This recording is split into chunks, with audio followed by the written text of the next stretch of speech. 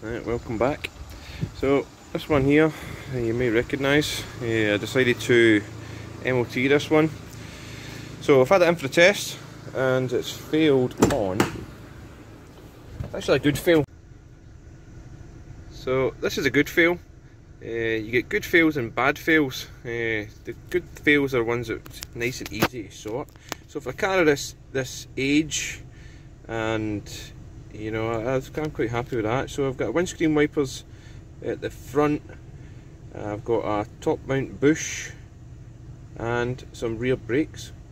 So I've already got the parts for that. This should be a nice easy one. Um, but I'm going to go for the brakes first. So that's the video we're going to do today.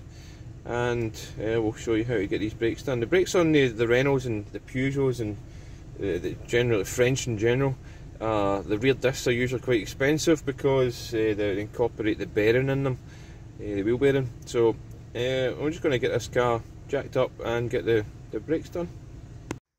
So before I jack it up, what I've got to do, I need to get these things out.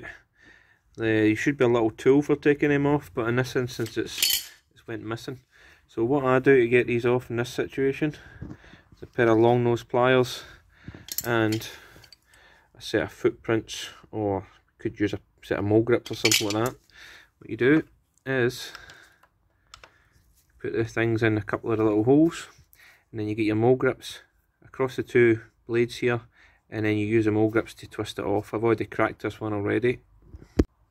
Something a bit like that. Now that they are nicely removed, just turn myself to the lock nut. Luckily I've got the lock, lock and key for this, so I'm just going to crack them off. I'm not going to remove them, just, just going to crack them, get the, the, the tightness off them, um, and then to jack the car up. So before I go any further, because I'm going to be working on the rear brakes, I need the handbrake to be off, and it's one of these electric handbrakes on this. So I'll put the key card in. Uh, first things first, I want to put it in first gear. So put it in first gear so that'll lock the front wheels and stop the thing from rolling forward when I jack it up.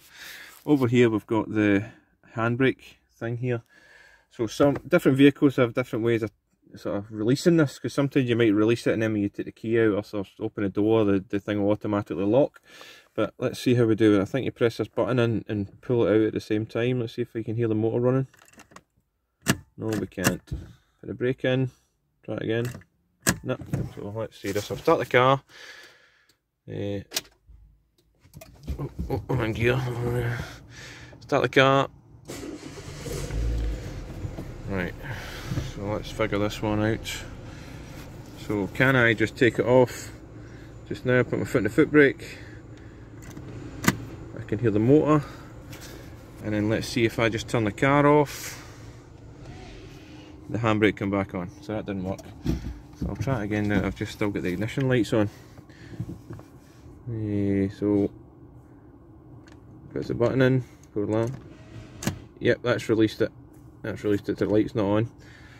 And I'm in first gear, so I'm not going to go anywhere. I can just remove this key. And that's me, I'm ready. Oh, oh it's flashing now, that's okay. If it's flashing, it's, it's okay. If it's solid, it means that the handbrake's on. But that's flashing, so I'm happy with that. So I can get on with jacking this car up.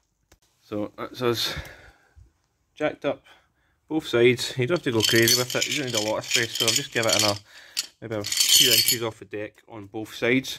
So I'm just going to buzz these nuts off and get the wheel removed. Now that's the real wheel removed. Um, you can see these discs are looking a bit sorry for themselves. You can see from the spider's webs that it's been parked up for a wee while before I came into possession of it. Let's have a look at this other side. Again, looks very sorry for itself. So, good time to change them. So, next thing I want to do is actually want to take this cap off both sides. So, there's a big hub nut in there that needs to be removed. So, if I get a little uh, screwdriver and a mallet, and I can just tap the corner of it and just try and lever that off. Now, screwdriver, just a little hammer, first one that came to hand. Uh, managed to prise that out. And there we have it. So we've got a nice big bolt in here. I'm not quite sure what size at the moment, but we need to crack this off. That appears to be a 30 mil. So use that, and I'll use my big breaker bar to crack that off. I don't need to take it right out at the moment, but I'll just I'd be quite happy if I just crack it um, so I can able just to re remove it a lot easier. So that's that not been cracked and if I put my ratchet on it I'll show you. There we go. So that's not going to give me any trouble in this at all. So the next thing I'm going to go for is I'm going to remove this caliper. So there's two bolts on it, top and bottom. I think they're maybe 13s, um, but I'll get on them. And these bolts are indeed 13 mil. So what I do, rather than put pressure on that and then when it cracks, it suddenly sort of gives a jolt. You end up punching things that you don't want me to punch. What I do to crack these kind of things off um, is put a spanner on it and if you put a bit of light pressure in the direction you want it to turn, you get a mallet and just give it a couple of little taps and it should crack. Um, I've kind of got into the habit of doing that way just about every time I've got to use a spanner on something. Um, but it definitely saves your knuckles from getting scratched and scuffed up. So now these ones I've just cracked off just using the mallet technique, but if you watch this bit here, that's turning as well. So what I need to do is get a 15 mil, put it on here and hold that while I loosen that off.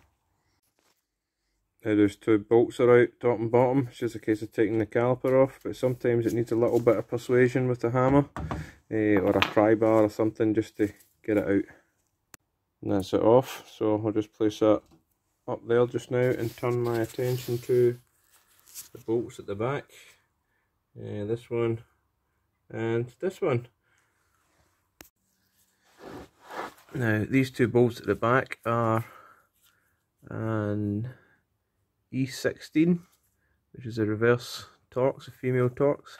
But if you don't have reverse Torx, sometimes you can actually put a standard socket on that, maybe a 13 mil or something like that. Um, but these bolts are going to be really tight and stuck in there, so ideally you want to have this correct tool for the job to save stripping it. You could get a breaker bar in there, but it's quite awkward because of the bumper and that sitting here. So what I'm just going to do is get my ratchet, put it on there, and then I've got like a metal bar. Just slide over it like so, and then that'll allow me to crack these off. And with those two bolts removed, this should just come away in your hand. So there we've got the brake pads, carrier. We'll put that aside just now. So we need to loosen off this nut all the way, and then hopefully this should this whole disc complete with the wheel bearing and there's an ABS pickup behind there as well. That should all come away with one piece. That nut fully removed, this whole thing should come away complete. We have the wheel bearing in the middle. This black outer ring's the ABS pickup ring. That's why these things are so expensive because you're actually buying two parts in one, but technically three. Um, you've got the brake disc, bearing, and then the pickup ring. So what I'm going to do is just give this a little clean up and then we can start the rebuild procedure. So the next thing I'm going to do is I'm going to wind back this piston. So what I've got to do is this piston sitting here, it's got to be wound all the way back in until it's basically flush with the, the casing there. So there's a special tool required for doing this. Kind of looks a bit like that. Um, as you can see, notches on the little piston. You basically find a tool, and you see they're all different sort of spaces and stuff like that. You find a, a tool that fits onto that piston and then you rig up your your wind back tool. I'll show you that in a wee second. So I found one that kind of fits reasonably well. So I'll get this and put it on this one. As you can see, this one's all bent because this one sort of takes a bit more punishment than the other. Uh, these things, one's a right-handed thread and the other one's a left-handed thread. So most cars have the same sort of right-handed thread, but occasionally you will get a left-handed thread, so um, hence the reason why that's there. But this one certainly gets used more than others, so I'll try this one first. A little magnet on the bottom of it, which basically sticks that on there. And then I've got like a little backing plate that slides over the top. It's always difficult to do things with one hand. There we go. So that goes over like that. So what you would do is you would engage these pins. Is it? Uh, yeah, in that piston. Engage the pins in the piston. And then tighten up this bit here until it's nice and snug against the rest of the caliper. But I'll show you that in a sec. So there we have, I've wound that back up so it's nice, this plate's nice and snug. So what essentially this tool's doing is at the same time as turning, it's also pushing. Because it's got to be that sort of push and turn at the same time. So when I turn this bit at the end, it tightens up the screwed rod end of it, which then turns the piston and pushes it in. So these things can either be really difficult, like stuck, hence the reason why this bar is all bent, or they can just go in with the fingertip type stuff. So we'll find out in a second how easy this one goes in. And that's that being wound all the way in, pushed all the way home, just keep going until it doesn't go any further. And it should sit flush with this rubber boot in here. So now that I'm happy with that, I can just take the tool out. So in a new box, got my disc, also got a little uh, new cap and a new hub nut, so that's good. Yeah, I'm just going to use that. So just when you're handling this, be very careful. There is a plastic cover over this ABS ring, but you need to be really careful you don't damage this, hence the reason why I'm sitting it upside down just to show you. Um, because this is got a, made of a kind of rubber on the top of it. If you damage that, then you're going to have ABS problems and all sorts of annoying things like that. So don't do don't be silly and just uh, be very gentle with this pickup ring on this side. So the first thing I'm going to do is basically put the old one and the new one kind of side by side. So I'll just set them up like that and put my hand across the top of them. I don't want to get them too close obviously because of the ABS sensor in here but I'm pretty confident that all these things look the same on both sides so I'm pretty confident this is the correct part so I can go ahead and put it on. Now I've removed that plastic cap and you can get a better look at this little ABS pickup ring. There's a kind of rubber coating on it so just be careful when you're offering it up to the little stub axle make sure you, you don't hit this. You don't damage it at all so just be very careful when you're putting it on. That just slid on beautifully so I'm going to put the new nut on here. Right. now I've tightened this behind just so that it's not wobbling about and I can assemble the rest of the brakes but it's very important that I torque that at the end.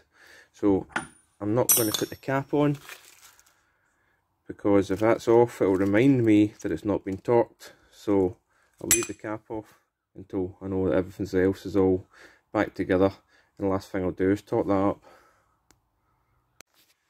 So now I can turn my attention to this brake carrier and start clearing that up. So these pads are just sitting there so they should just come out. If they don't just give them a little whack that one come out no problem. This one there we go. So what I'm wanting to do is I basically want to clean up all these mating surfaces. There's little metal shims on this one so I can just remove them. Just um, careful we don't damage them. I'm going to give a screwdriver I think onto that so I'll pop them off. So I've got a little screwdriver and just levered underneath this front section of it. Pop them off. Uh, it's, it's, a good idea to do this because some people don't. You just, kind of clean it up as it is. But what happens is you get a build up of kind of corrosion just underneath where those little shims sit. So it's a good idea to take them apart, get a wire brush on there and even a screwdriver just to clean up any sort of loose um, rust and junk that's in there. So that's what I'm going to do. I'm just going to get a wire brush and give this a right good clean up. Something like that's just fine. So I just got the screwdriver and give it a wee scratch in all the little nooks and crannies here. Um, also down the middle where the clip shells again, where where the clip goes in. Did a wee clean in there, um, but I'm happy with that. Now we just need to fit this back onto the car. Now that's been tightened up, uh, did the same way. I put the ratchet on it and then put my extension bar on the end of it and just give it a little nip up. So there will be a torque setting on all these bolts, but um, experience uh, kind of tells you how tight it should be. But really just want to make it tight enough that it's never going to come off on its own. Um, if you're in any doubt as to whether it's tight enough, please just uh, look up the torque setting on it. So I'm going to turn myself to these pins. Uh, they actually feel really good. So what I'm going to do is I'm just going to leave them as they are. I'm not going to grease them. If they were stiff or um, no stuck or anything like that, you just pull them straight out. I'll show you. You pull them straight out and what you can do is clean up that pin and re-grease it and put it back in. But these pins are absolutely perfect so I'm not actually going to do that. I'm just going to leave them as they are. So what I need to do now is clean up these little shims um, again, you don't have to be 100% perfect, but the cleaner you can get them, the better, uh, particularly on the mating surfaces. So I'm just going to get a little tiny wire brush that looks like a toothbrush, um, and I'm going to use a wee clean. Something like this I would recommend getting your hands on. It's very good to get into all the little nooks and crannies of brakes. As you can see, but this one is, um, you know, past its best. I need to be getting a few more of these. Something like that will do the trick shinier the better but the main thing is they're nice and smooth you've not got any sort of rough areas on it so I'm pretty happy with that ready to put them back in so what I'm going to do is I'm going to put a smear of grease all over these sort of mating surfaces here a little anywhere where the shim is going to be touching. The reason for that is we've all heard uh, a car when you apply the brakes you hear a squealing sound. Um, all sounds are actually vibrations. So by putting a little blob of grease between the metal and metal you dampen any vibration and therefore dampen any sound. So I like to put a little blob in between before I put these in something like that um, maybe just a wee bit too much but it's not going to do any harm. I did get a little bit on the disc but I can clean that off later at the end. So what I'm going to do is click these little shims back in.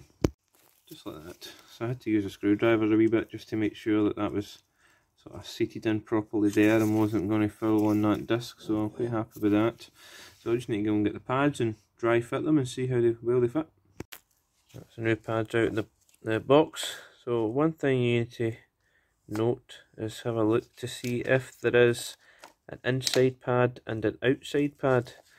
The way you can tell is you've maybe got an extra couple of pins or something. So you've got two pads of one pattern and uh, not two pads of another but these here all look identical. So that tells me it doesn't matter where, where they go in. So now that I'm happy with that. I just get one of the old pads before I take it out of the packet uh, and place it over the top. Make sure it's the right shape right size and I'm very happy with that so I can take these out of the packet and see how they fit. So like I say I've dry fitted it at the moment i.e. I've not put any grease on the pad but this one on this side feels perfect. You want it to be snug but not tight so that feels good. This one just feels a little bit tight the reason for that is is these carriers uh, get old and corroded and when metal rusts it actually expands. So this one here is probably half a millimeter of expansion which doesn't give it enough quite enough space in there. So what I'm going to do with this one here is I'm just going to get the file and just file off the paint just off the very edge of this bit here top and bottom and then try it again until I'm happy that it's not stiff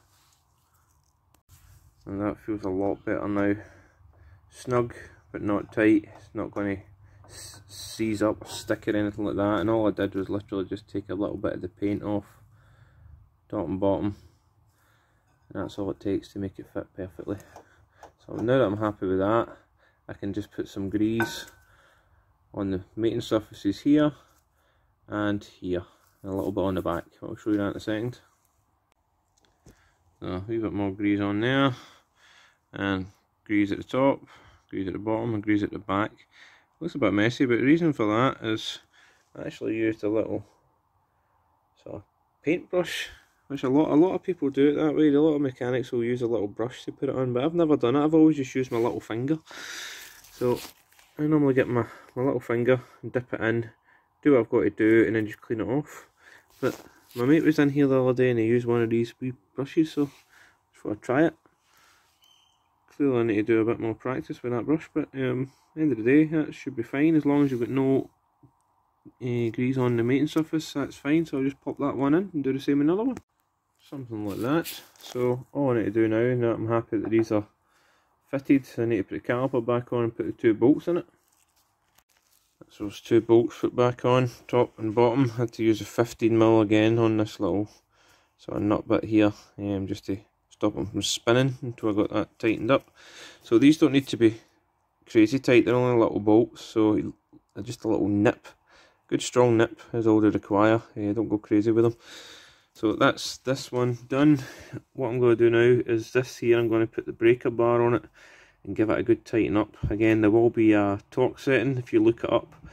Um, but I've done that many of them, I know how it feels, so I'm pretty confident I can get that with a breaker bar and it'll be absolutely fine. So once I've torqued it up, I can put the cap back on it.